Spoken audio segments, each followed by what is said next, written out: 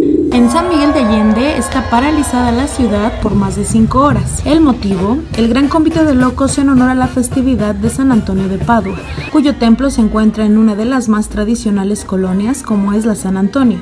Más de 180 mil espectadores y cerca de 12 mil personas están participando cada una con un singular disfraz. Fiesta multicolor donde se combina la fe, el arte, la tradición y el trabajo colectivo de los barrios.